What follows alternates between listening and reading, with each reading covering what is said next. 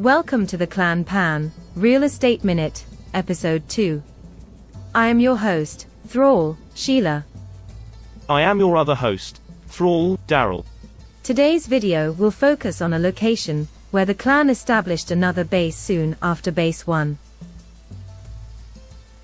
This new area is called Island Base by the clan. It was another good location for a base and continues to be active in providing resources and a well-defended way stop when traveling in the game. As you can see on the map, this location is the large island in Sector J5. And the base is built predominantly on the high ground on the island. About 90% of this high ground is inaccessible, except by climbing, and the accessible part can be blocked with a short wall and a gate with doors is shown.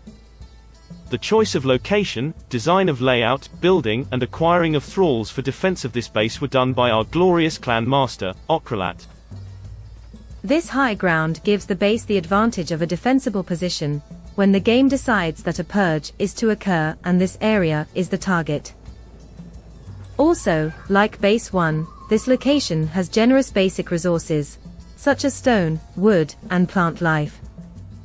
Additionally, there are wild animals on the island, and areas north and east that you can kill to get ample supplies of meat and hide.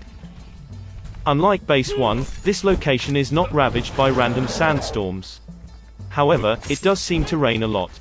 Therefore, the only notable disadvantage of building a base at this location is that there isn't a relatively close obelisk for when you want to fast travel back to this location. Yet, as a little clan trivia, it was the first location that the clan installed a map room to take advantage of the obelisks in the game. With all that in mind, there are some very positive things to highlight near this base location. There are two villages to the west of the base that can provide various resources for beginner and experienced players. Most notably, generous supplies of iron just south of the closer village. Like the cave near base 1, there are numerous level 1, 2, 3, and named characters to turn into thralls, or kill for the experience and items they may be carrying. This reminds me. Hey Daryl, Yes, Sheila.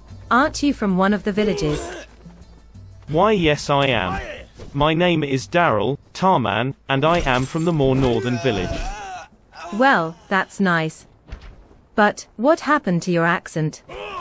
You mean, me and my mates are thick as thieves and all that? Yes, Well, thankfully, I got educated by one of the clan masters, and we don't like talking about that part of the family. Moving on. The other thing to highlight about this base location is the world boss, Rotbranch, to the north. Like base 1, you and your mates can kill this boss every 30 to 40 minutes to mine for legendary weapons and or shields.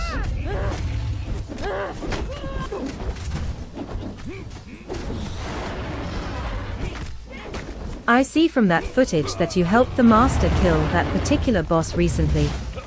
I hope you were justifiably rewarded. Yes, indeed I was. The master gave me this hand-me-down legendary shield. I am such a lucky thrall. You deserved it. The last thing to highlight, nearby and north of this island base, are horses. You can make yourself a stable and saddle crafting bench to turn these horses into very useful mounts. Well, this is where we want to end the presentation of the Clan Pan, Real Estate Minute, Episode 2, where we focused on the clan's island base.